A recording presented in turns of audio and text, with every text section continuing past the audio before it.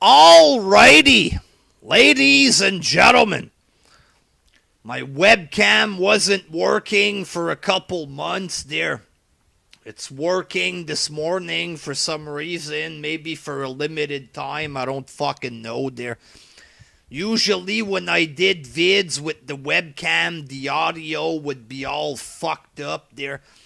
I'd have to talk like this, or else it would the audio would fuck up. So I got my shitty little microphone that I use for the live shows. Let's test this shit out to see how it goes there. Um, Dolph Ziggler, ladies and gentlemen. Little quick sip of some of that black coffee, ladies and gentlemen. So Dolph Ziggler has this new gimmick where he talks shit about other people's gimmicks. Somebody wrote to me on Facebook there Ziggler copied a bunch of people Billy Gunn, Mr. Perfect, Shawn Michaels, Rick Rude. He stole a whole bunch of people's gimmicks. He failed and now he's talking shit about other about gimmicks. Pretty ironic, I guess. Eh? He steals, he fails.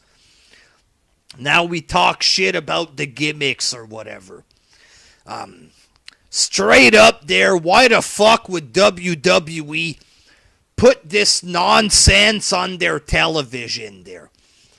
You have a guy that sucks Okay, his gimmicks or whatever the fuck he is, it fails there.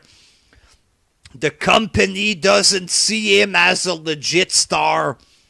The fans don't see him as a legit star.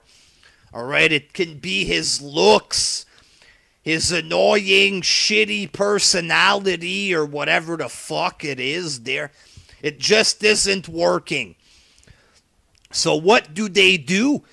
they have him go on television talking shit about gimmicks that actually work. Why would WWE put this on their television? Could you imagine, let's say there's like a Batman movie or something. There's a guy on the show that they create this new Batman character. They're his name is Lion Face or something. A guy with a lion mask and a fucking Speedo and fucking nipple rings or something. The gimmick just doesn't work. People don't care about Lion Face. The comic book people don't like him. So you have a, a Batman movie and Lion Face comes out there. Well, uh, Batman character is overrated. It's only his costume. Oh, this Joker guy, it's uh it's all makeup. He's not really a real clown. He's just a guy in the costume. Oh, the Riddler, it's just a guy with a question mark. What's so cool about that? You're not going to see a character putting down all the other characters in the movie there. Hey, why are you watching this? Everybody sucks. you understand what I'm saying? So WWE, they have him go on there burying the other wrestlers. Like last night on SmackDown, he's burying Bayley. Comes out imitating Bayley. Oh, it's just an entrance. She, she's nothing, blah, blah, blah. What if the people are sitting at home and they're like, oh, yeah, man, maybe he's on to something. Bayley sucks. I'm not going to buy any more Bayley t shirts. You understand? Like, Bayley sells way more t shirts than Dolph Ziggler ever did.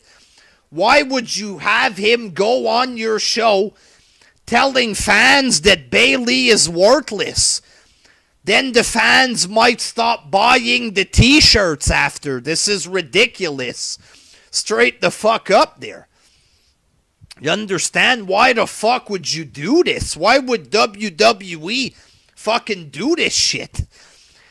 You have Ziggler running to the ring with the Ultimate Warrior's music, the mask, like a wig or whatever, looking like a skinny fucking retard. He runs to the ring, starts talking shit about Warrior, like if Warrior was fuck all, just an entrance and shit like this. Well, first of all, you look at Warrior, the man had a great physique or whatever the fuck. Dolph Ziggler looks like a fucking skinny homo retard the way he was doing the entrance. Insinuating that if he had the Warrior's entrance, he could have gotten over like the Warrior. Get the fuck out of here. You fucking goofball. Warrior had a presence he captivated the audience or whatever the fuck there. The man had charisma, a certain mystique to him. That's why he fucking captivated the audience. Why the fuck would WWE have fucking gay ass Ziggler go on TV putting down the Warrior? It's bad enough they did the rise and fall of Warrior bullshit then they bring him back. They act like if everything's okay. He dies the day after the Hall of Fame. And now they have Ziggler there putting him down, talking shit about him. What the fuck is wrong with this company? Very, very, very disrespectful to the Warrior. I mean, really, there. You know, if I fucking go out there with Hulk Hogan's music and I dress up like Hogan, am I going to get over just like Hogan? There, give me a fucking break.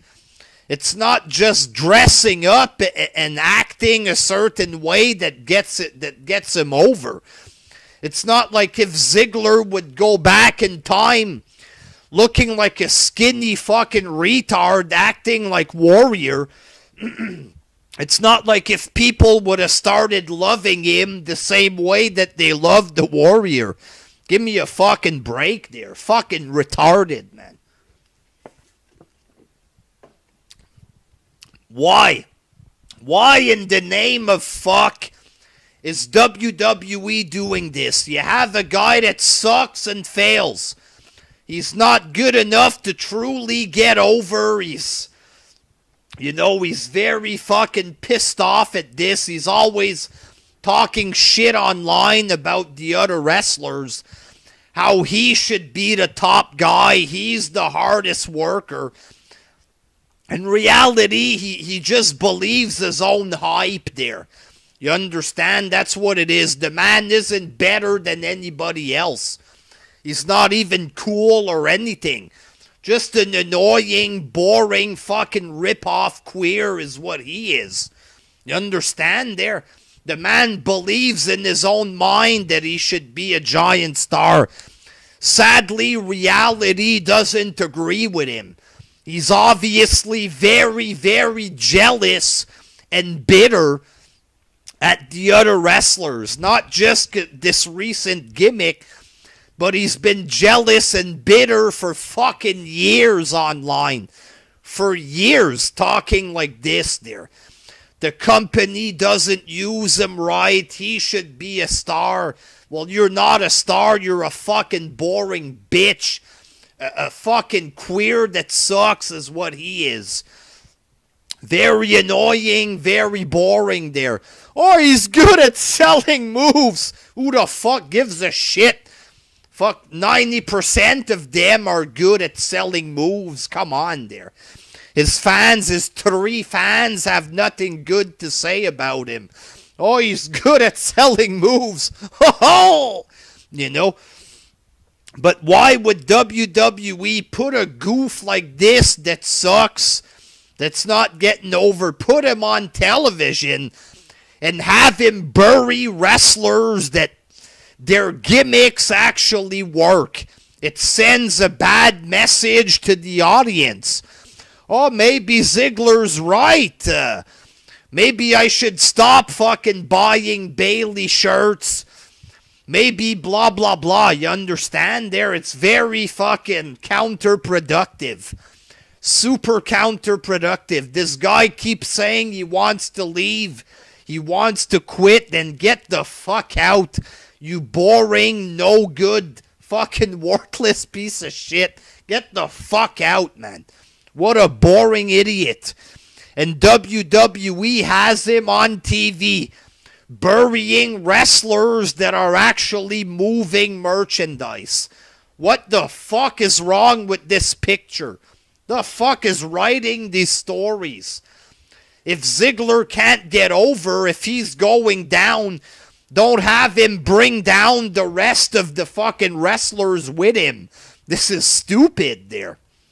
So, yeah, that's about it there. Fucking very ridiculous motherfucking gimmick that he's doing there. WWE, I don't know what the fuck is wrong with them with the this shit there, but making fun of Warrior, talking shit about him. Like if he was worthless without the gimmick, shit like this. That makes no sense. Why the fuck would you put this on your television? Imagine how the Warrior's wife feels there. They bring her fucking every year for their little charities. Oh, by the way, we're going to say that your husband is worthless there. And he's a complete fucking fuck all nobody without his entrance. Don't forget to come back next year so we can make money uh, with charities off of you and your dead husband that we just insulted there. Fuck off, you dummies. Until next time, peace.